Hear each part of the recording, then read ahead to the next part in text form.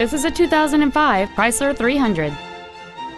It has a 3.5 liter six cylinder engine and a four speed automatic transmission.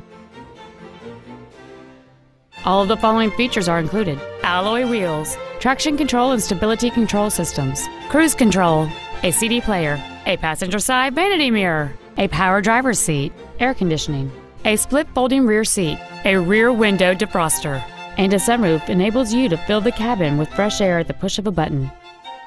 With an EPA estimated rating of 27 miles per gallon on the highway, this vehicle is clearly a fuel efficient choice. Contact us today and schedule your opportunity to see this vehicle in person.